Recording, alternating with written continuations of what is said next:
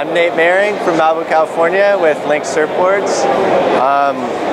I'm here to talk about my board today, the retractable fin board. This is uh, sort of a mini Simmons shape and um, what you do is you take off on a wave um, with fins and it stays locked in for as long as you'd like and this is attached to your thigh, a little velcro strap and whenever you want you can pull them out and go finless and do uh, your whole Alaia thing and do all the uh, finless maneuvers that you'd like. Um, my favorite thing to do is just to pump down the line and